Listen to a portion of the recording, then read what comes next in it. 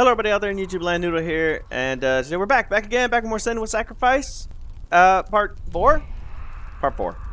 So, uh, so yeah, last time uh, we beat Valravn, and we have now also have beaten Surt, That was in the second video, I believe. So we'll be opening now the gates of Helheim. Why is she waiting? Open open the the gate. gate. No, No, don't. don't. No, it's dangerous. It's dangerous. Don't open the gate. Darkness. Don't. She's done it.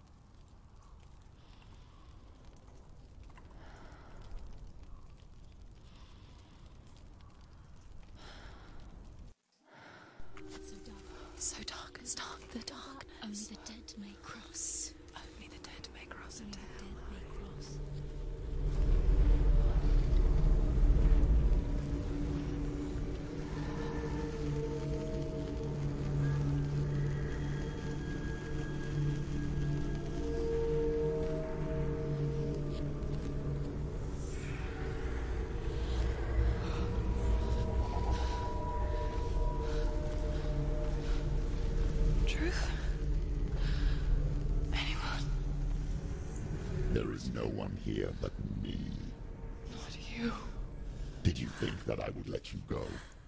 That you lost me back in the wilds? I will never let you go. You can't get rid of me. I am your shadow. And I will be watching when you draw your last dying gasp. I'm not ready to die. You will be when you see what they did to your dear beloved.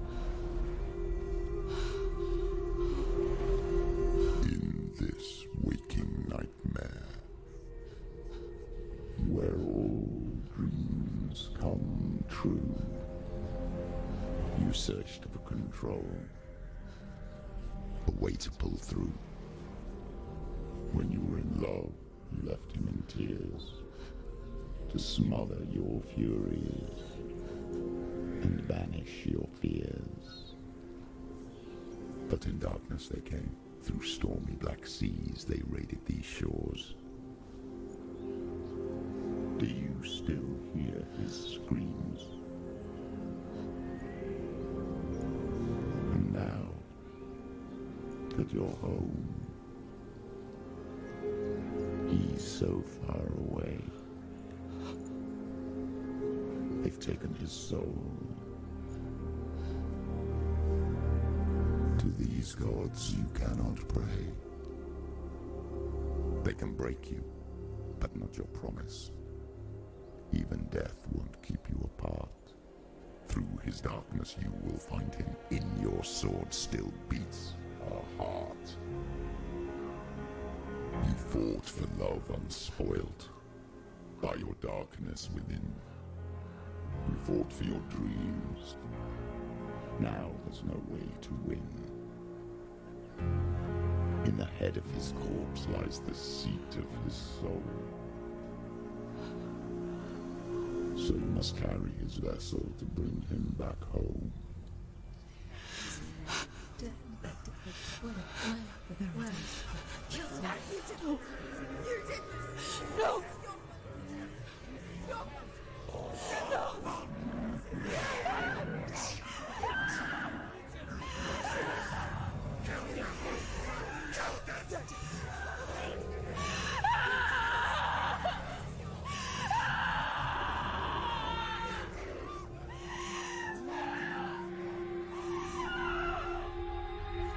Can break you, but not your promise. Even death won't keep you apart. Through this darkness you will find him. In your sword still beats a heart.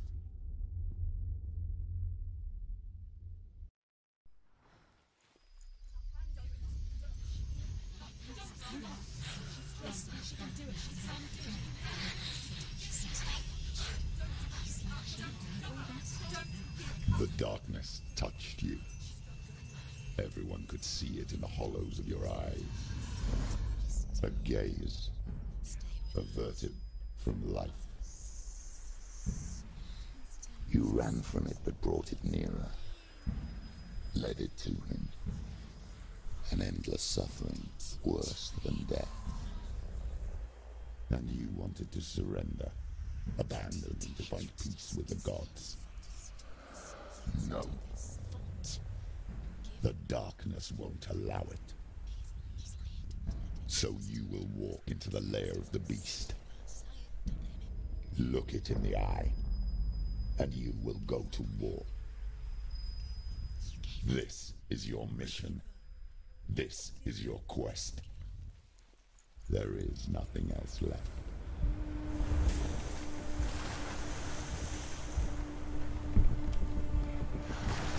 What a hell of a way to start this fucking episode. So, before I go into the bridge, it's kind of assumed to catch everybody up.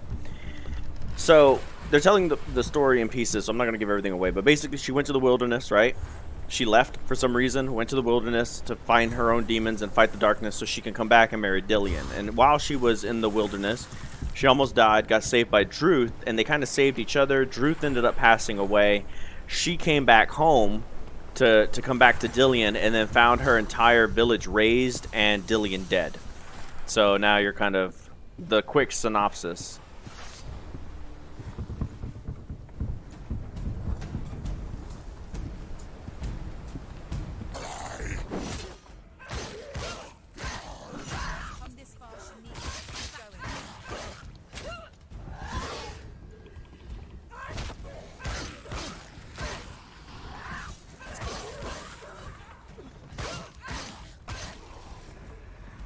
The gods made you a warrior for a reason. It's your calling.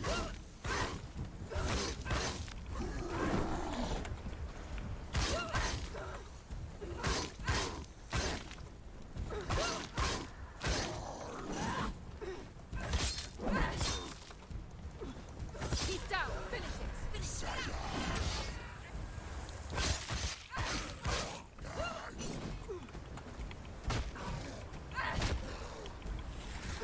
Fuck off into the sea of knives, bitch! There's a new road ahead. The only one that makes any sense.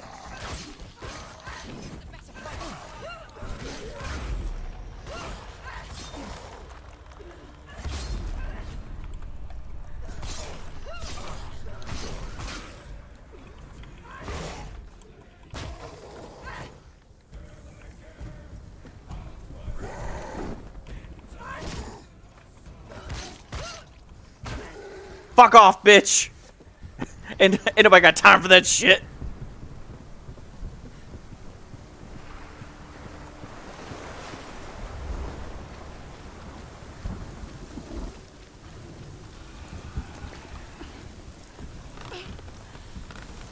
Every gate you open into darkness brings another chance.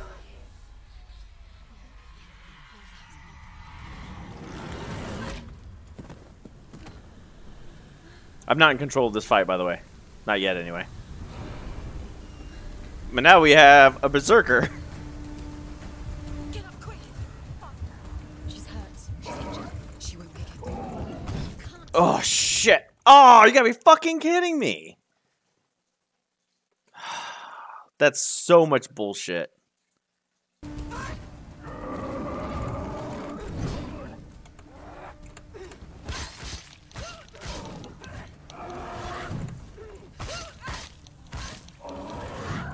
That was so much bullshit. Y'all know that was bullshit. They took away half my damn health. Before we even got started with the fucking fight. He's not too fast. He's a slow piece of shit.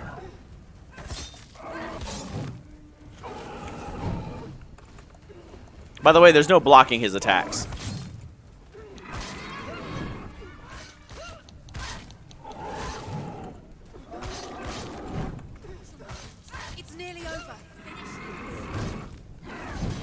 Oh shit! That almost fucking got me.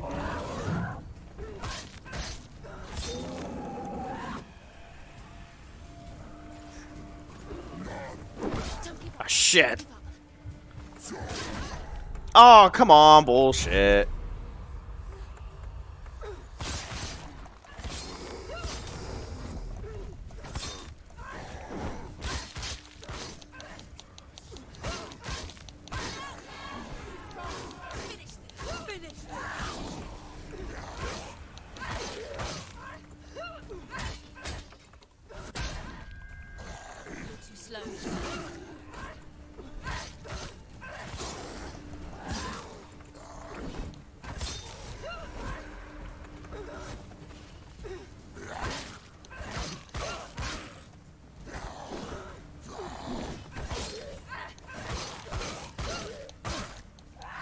We're gonna save the focus.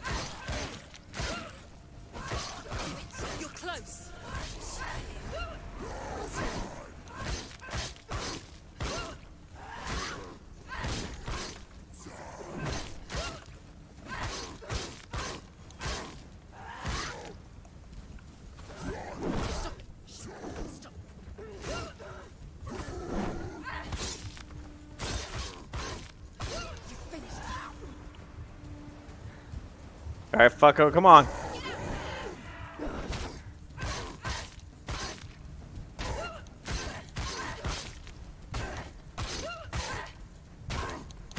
You gotta keep them unbalanced. I hope nobody fucking sneaks up behind us. So weak, she's so Ah! I can see you're weak.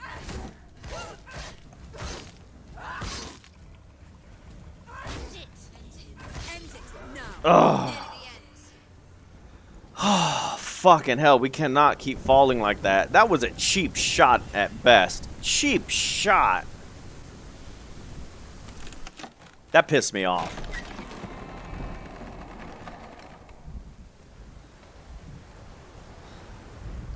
That was I was half dead when the I fucking started that fight. The journey to Helheim is never hmm. a straight one. Each must find their path. Align yourself to its secrets, and you will find yours. However you come to the gold-covered bridge that leads to Hell, you may find it guarded by a giantess. She will ask your name. She will ask your lineage. She will ask your business. The Northmen tell of the warrior woman Brynhild, who leapt into fire and rode to Hell to join her slain love Sigurd, and is challenged by the giantess. Okay.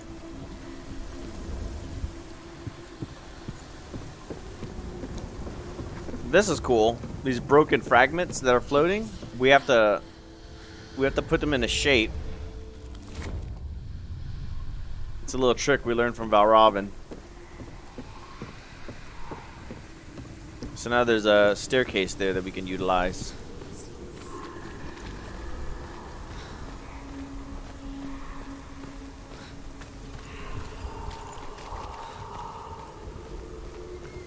Don't be fooled by that crap down there.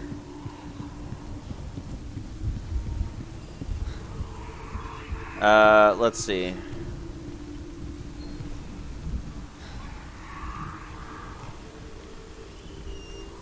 Um, how did we do this one?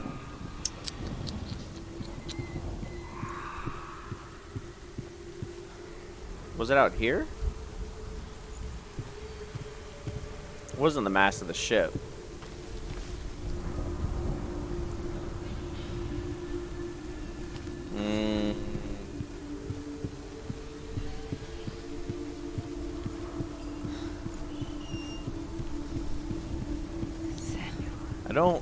Rightly remember. I think this one was like this. No. I know that there's a thing out here. Let's go do that first.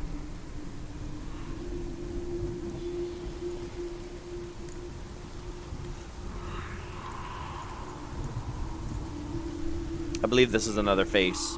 I could be wrong. I'm pretty sure it's another face. Yep.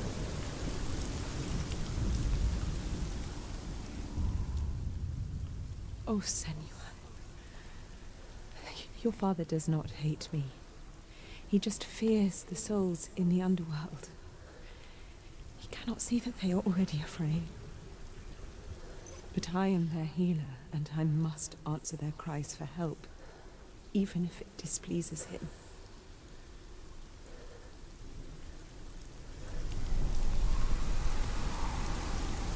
All right. So, Dad doesn't like the crazy.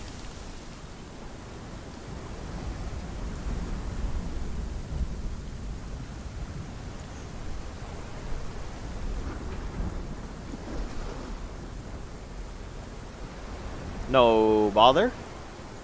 Has nothing to do with us solving puzzles today. Uh, that's a way down, I believe. Alright. So we got this one.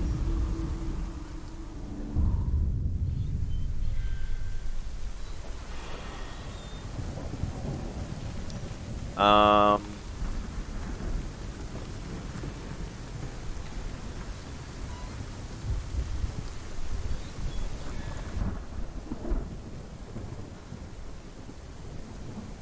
Hmm.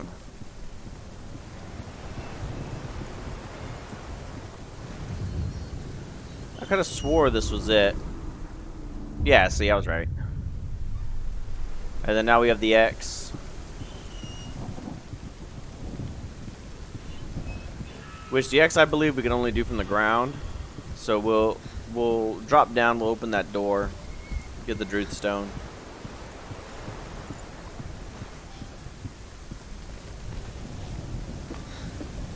We're kind of flying through this puzzle here.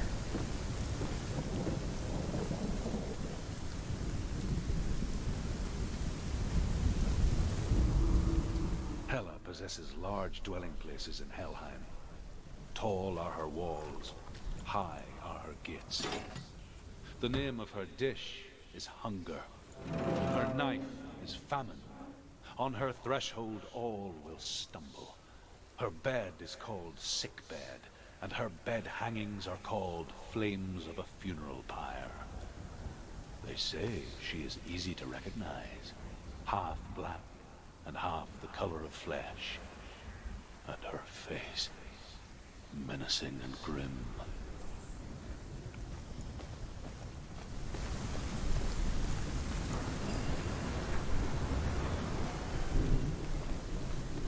There we go.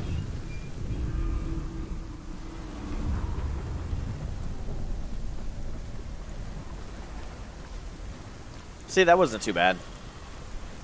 Took a little creative thinking.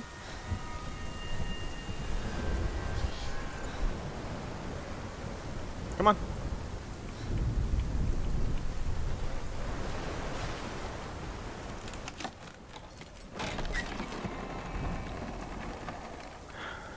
Here we go.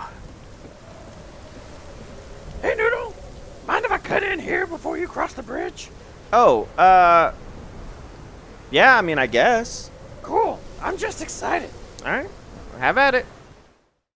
Hey, everyone. My name's Lili, and this is my deep dive.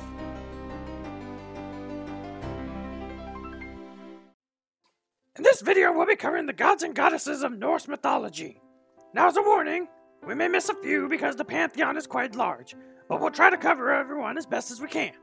Before we get started, it's important to reference that there are actually two tribes of Norse gods the Aesir and the Vanir. To make a long story short, one day the Vanir showed up to Asgard, and the Aesir gods didn't take too kindly with the invaders. There was a war between the two tribes, and in the end, there was some sort of peace treaty made between the two tribes. Most of the Vanir went back home happy with the truce, and some decided to stay and help the Aesir. So when we talk about the gods, keep in mind that some are originally Aesir, and some were the Vanir that decided to stay. To start the list, we shall start at the top, and that would be Odin, the All-Father. He's the all-inspiring leader of the gods, who is on an unrelenting quest for knowledge. He's the god of war, and also the god of poetry and magic. He gave the gods the magical runes by hanging himself from Yggdrasil, and even sacrificed one of his own eyes for wisdom. Oh, and as a side note, in recent history, a lot of white supremacy groups are claiming the Norse runes as their own symbols, and that's just not cool, and absolutely not okay. Those runes go back to ancient times, and it saddens me to see them misused for the purposes of spreading hatred. Honestly, douchebags, go make up your own symbols and stop stealing stuff and twisting it to your own political means. Anyways, carrying on, Frigg, Odin's wife, was the paragon of beauty, love, fertility, and fate. She is the mighty queen of Asgard and is the only goddess allowed to sit with Odin. Frigg is also known to be the protective mother and one who wields the power of divination. Balder, the son of both Odin and Frigg. He was described as being the epitome of radiance, beauty, kindness, and fairness, and was a fan favorite of the gods. He was also thought to be immortal, but he was kind of killed by mistletoe thanks to Loki. Thor was Odin's widely most known son. He is known as the protector of humanity and the powerful god of thunder who wielded a hammer known as Mjolnir. He was best known for his bravery, strength, healing powers, and righteousness. Freya is one of the most sensual and passionate goddesses in Norse mythology. She is associated with a lot of qualities as Frigg, you know, love, fertility, and beauty. She's also credited for the creation of gold and is the leader of the Valkyries. Being the leader, she also has first pick of the dead before they're chosen to go to either Valhalla or Hell. Also, yes, she has a chariot pulled by two cats. That's super rad. Freyr is one of the most respected members of the Vanir clan and is also brother to Freya. He's not only a fertility god, but he was also a symbol of pleasant weather conditions and prosperity. Also, as a side note, he was also portrayed with a large, um, weapon. Heimdall is another son of Odin, who takes his seat atop of the Bifrost. Uh, that's the rainbow bridge that connects Asgard to Midgard. And it's there that he remains forever on alert, guarding Asgard from any kind of attack, like the one that's going to happen at Ragnarok. Hel is the goddess and ruler of the Norse underworld known as either Hel or Helheim. Yes, they share a name. She is easily identified as being half alive and half dead. And despite how games and movies portray both the goddess Hel and her realm Helheim, neither is really evil by nature or cruel. In fact, anyone who did not die a warrior's death, like you or me, would be sent to hell after we pass away. The goddess Hel will shelter us, nurture us, and take care of all the dead who were not fortunate enough to be chosen to go to Valhalla, or with the goddess Freya. She's actually rather nice, but everyone seems to fear her because of her appearance. That, and she's also the only known daughter of Loki. And last but certainly not least is the god Loki.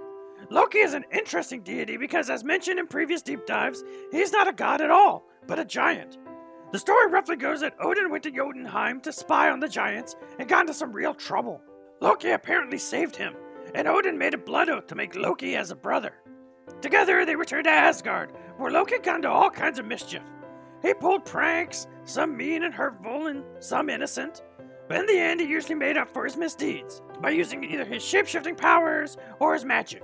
Well, that is until one of his pranks killed Balder with his mistletoe, like I mentioned earlier. And so Loki was damned to a life of imprisonment and would be the catalyst for Ragnarok. Now, there are a slew of gods and goddesses not mentioned here, like Vidar, Hod, Val, Tyr, Sif, Mimir, Eir. But honestly, the list goes on and on and on, and we could spend days diving into the entire pantheon. On a final note, however, it should be known that the religions of the Norse were very much equal as far as sexes were concerned. The goddesses were not treated as less than because they were female, and in fact, they were revered possibly more. Researchers and historians recently discovered that Norse society was very equal in comparison to ancient religions. We tend to think of Vikings as marauders who killed and pillaged and raped their way across the seas. But back at home, the women ran everything because reading, writing, and math were considered magic and something only women were able to do. Women were also allowed to be shield maidens and fought along the side of warriors and berserkers. So, in that respect, women ran the society that allowed their boys to run off and wage war everywhere. It's really cool and super progressive if you think about it. Anyways, I hope you learned something. Back to you, Noodle. Mm, okay. All right. Thank you, Lili. Thank you for that informative information. Let's carry on. We're almost to Helheim, people. We're almost there.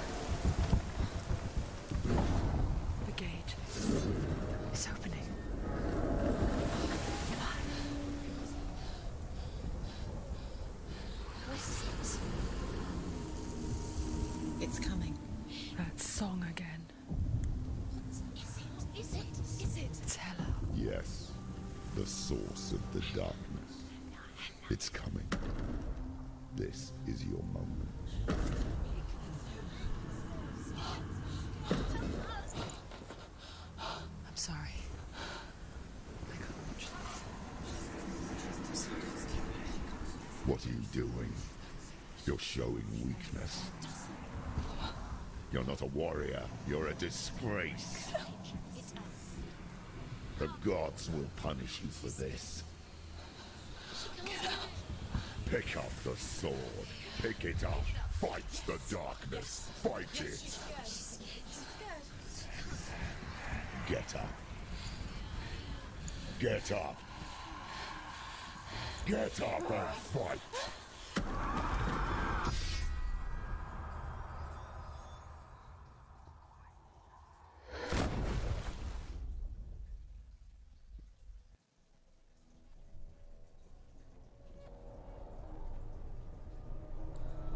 Stormy seas and lost souls. She's dreamt of this before. They say dreams are visions of our memories, thoughts, and fears, as seen by our inner eye. But what if each one of us is always dreaming, even when awake, and we only see what our inner eye creates for us? Is this what hell is? A world shaped nightmares. Maybe that's why people feared seeing the world through her eyes. Because if you believe that Senua's reality is twisted, you must accept that yours might be too. You failed the gods. You're pathetic. Rotten. Cursed. What were you thinking? Did you really think you could win? How stupid can you be? So stupid. Everyone hates her. She's cursed. The shadow hates. Look at you. A warrior. Worthless. Weak. Pathetic. Go on. Feel sorry for yourself, because there is no one left to do that for you. Everywhere. You failed. What's that? Take it. If you're too much of a coward to fight, then end the suffering. Broken and lost. Just like your sword. Come on. Dare.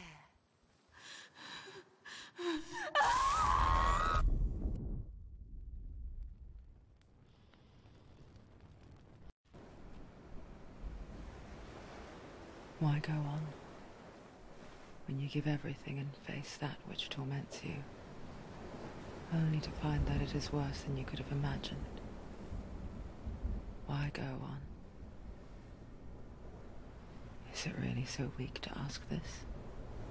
Or are we just so afraid of the honest answer that we do not dare pose the question? Sometimes the answer lies in a memory, a feeling, song.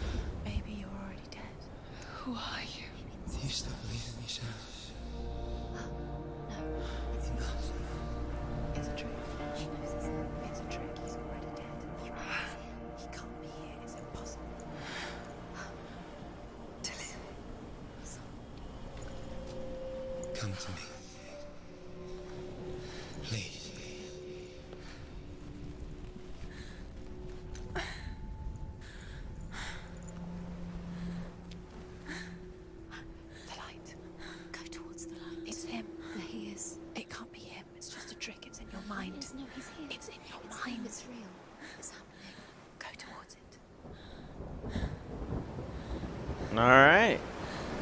So our first fight with Hela, we didn't do very good. We lost our sword.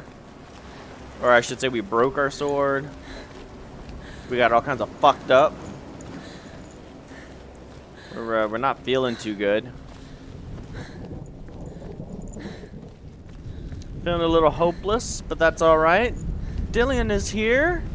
There he is. There it is. You're imagining this. It's Dillion. He's gone and you were too slow. How could you? Keep going. How could you? Keep going. Ignore the pain. I told you it was he tricked you. We told you. Where are you going? See, there's nothing to follow. Come What I like is um, all the voices that you're hearing, it's almost like we have fleeting thoughts in our heads that are just thoughts, you know, whatever. But she actually manifests them Before as she first voices. met him, she was not in a good place. Just a teenager, not like the others. Barely functioning, she rarely left the house. Her father's Zynbel made sure of that. Only occasionally did she venture out on her own, collecting firewood and herbs. Errands out in the Orkney Plains. That was her world. Like this one. Barren and lonely. Yeah, I like how Sin was also getting stronger as she keeps running towards the light. Um, I, don't think there's a Druth stone here, but I could be wrong. I'd rather just take a moment to look around, if you don't mind. I'm sure you don't. We can all just kind of enjoy this.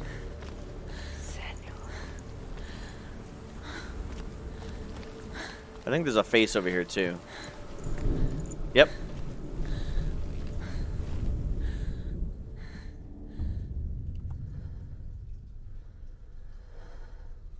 Senua, there will be times that you will feel alone and exhausted, like a strange little fish swimming against the tides of the big ocean.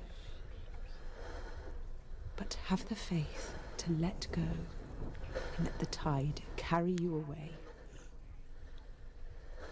Because the whole ocean is your home, and it does not ask you to swim against it.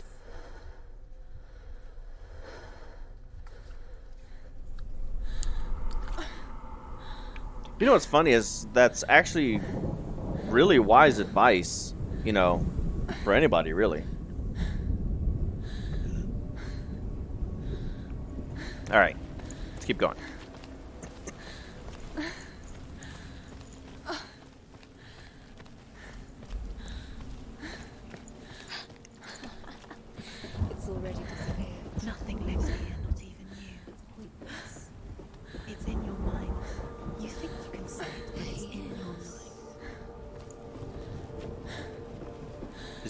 By the tree. was. The lone figure of a boy. Sword play under the shade of a tree. Oh, She remembers the first time she saw him. To her young eyes, he moved as if dancing. And the world danced with him. Under the tree. The gloom lifted. For the first time in years, she felt a ray of hope.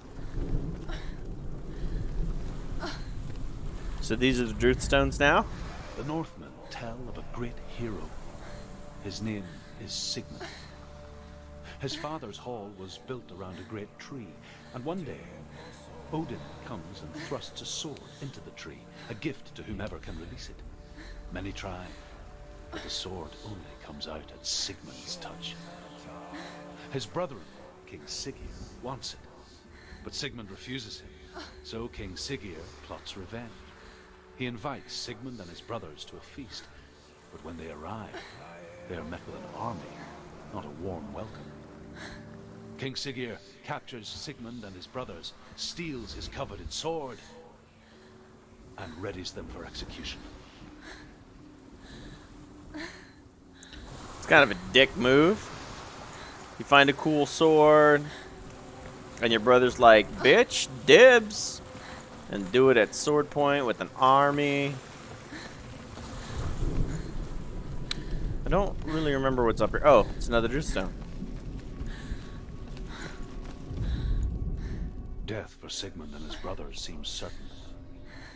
But the king's wife is Sigmund's sister, and she begs for mercy and implores the king to chain them up instead. He agrees. Not for mercy, though, but because he plans an even more cruel and lingering death. Chained to a tree in the forest that night, a she-wolf comes and devours one of Sigmund's brothers. She returns, ravenous, night after night, until only Sigmund is left. The next day, Oh. Sigmund's sister sends a serpent with honey to smear on Sigmund's face. But to what end? Well, that night, when the she-wolf appears again, you'll never guess what happens. What clickbait? Reason number 15 why Sigmund's sister, Sigmund's wife sucks. Blew my mind. You won't believe it.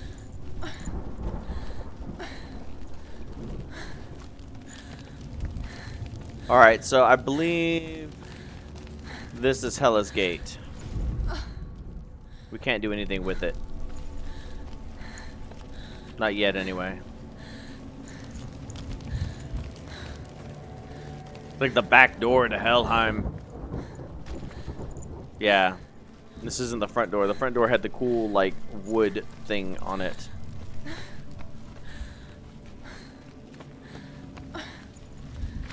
Alright, let's go down this way. I think there's a ladder on the other side, but... It's fine. We'll cruise through this way. Dip our toes in the surf. Yeah, see, there's a ladder over there. Damn it.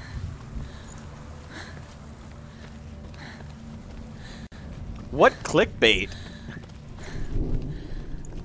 Fucking Druth, you'll never guess what happens next. I don't know, man. What happens next? We're about to find out, I guess.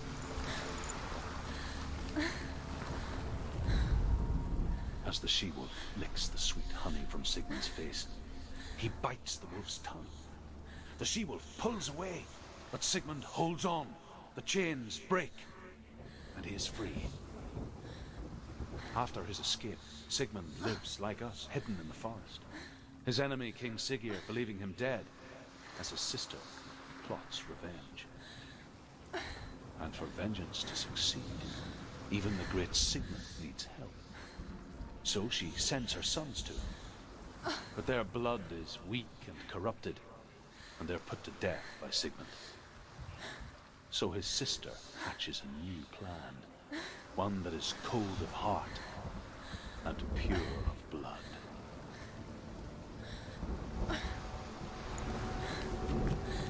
Damn, that's cold. She's like, you're gonna go help your uncle, and uh, all her kids are like, aight. And then what happens? He fucking butchers them because they're all weak little bitches. Uh, I'm gonna go check behind this thing. If, if there's nothing, I'll just cut back to. Alright, yeah, it was just another way around. No big dealio.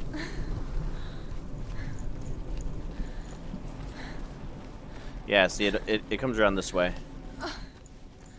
So all the paths kind of like wind into each other.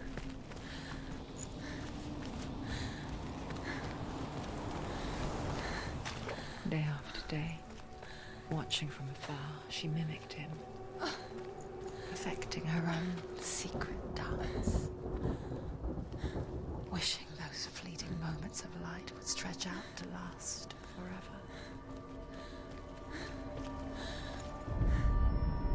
Sigmund's sister trades shapes with a sorceress, and in disguise, she lies with her own brother. She gives birth to a son named Sinfjotli. After a time, she sends him to the forest to Sigmund.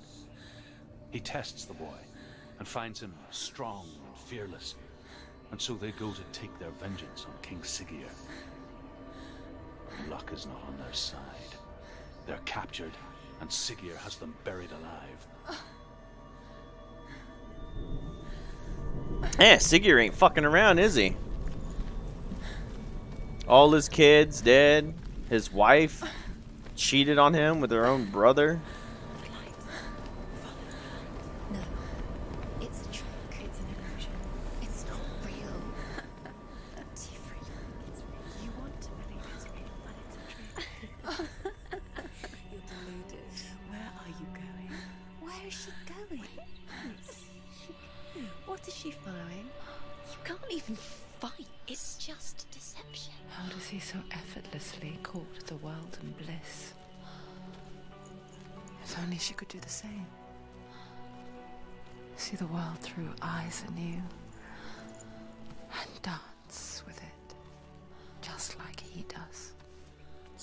Fucking gorgeous. Look at this place. Just take it in for a moment.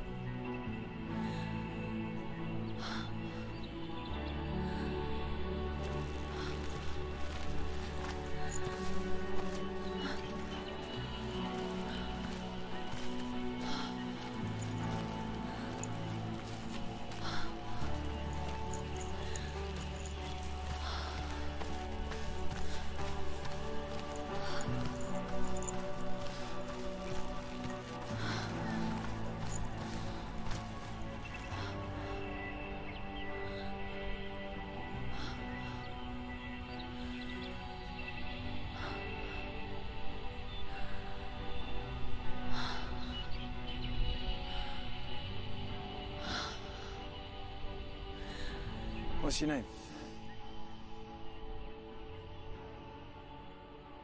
Senua, I haven't seen you before. I'm not. I don't leave home much. Oh, Zeno's daughter. I have to go. Wait. Who taught you to fight like that? No one. No one. Well, I I watched you, and You learnt all of that from watching me? you should become a warrior, you know. me.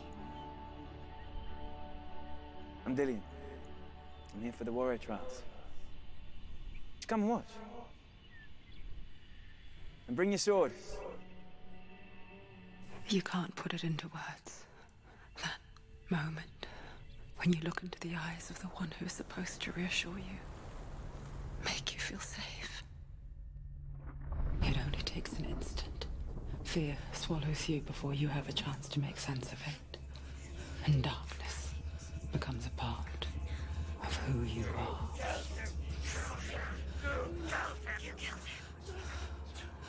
But her world changed the day the Northmen took him from her. Senua knows that there's no going back to how things were. That there's nothing to go back to at all. Stay still, stay quiet, hide, don't tell her. Their gods can see into your mind. They will use this power to destroy you. They won't stop me. I can still feel him. Whatever's left of him, they will never let him go. I'm not gonna let him rot here. You're the one rotting here. Leave me alone. You will die here. No. And all your suffering will have been for nothing.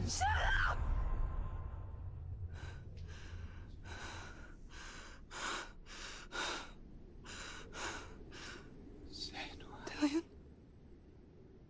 Is that you?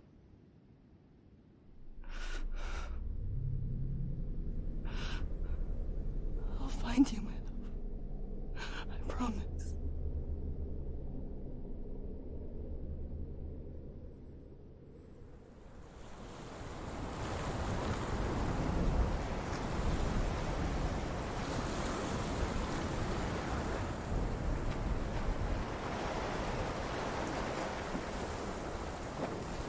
Mm, there we go.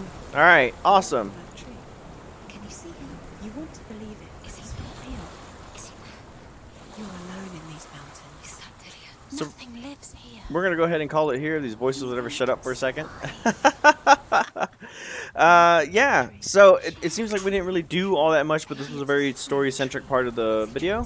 When we come back, we're gonna go ahead and explore the tree, and there's several worlds attached to this. Uh, as a heads up. So we'll be going to the worlds and hopefully trying to get a new sword so we can go back and fight Hela. Yeah.